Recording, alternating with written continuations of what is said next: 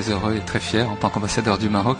Je voudrais également féliciter Hind, qui est venu me voir il y a quelque temps, en me proposant d'organiser justement cet événement au sein de cette honorable maison qu'est l'UNESCO.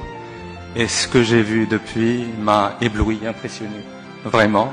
Donc je te dis du fond du cœur bravo et merci et fier de toi. Et en même temps, je voudrais euh, féliciter euh, l'ensemble des récipiendaires, tous les pays amis qui ont participé à cet événement, tous les collègues ambassadeurs qui sont venus ce soir.